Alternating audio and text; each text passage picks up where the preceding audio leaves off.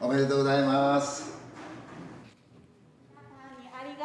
県内最高齢者の中地茂雄さんは1905年明治38年日露戦争の翌年の2月1日生まれの115歳です。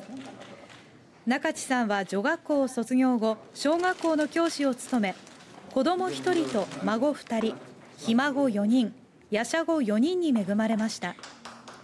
秀島市長が今日中地さんが暮らす佐賀市の有料老人ホームを訪れお祝いの言葉とともに花束と記念品を贈り長寿を祝福しました。